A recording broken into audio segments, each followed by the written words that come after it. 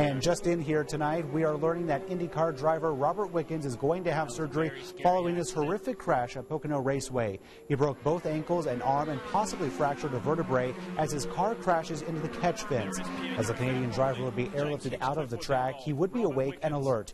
He is expected to recover. Our Taylor Tannenbaum is speaking with race winner Alexander Rossi. She'll join us with his perspective coming up a little later right here in sports.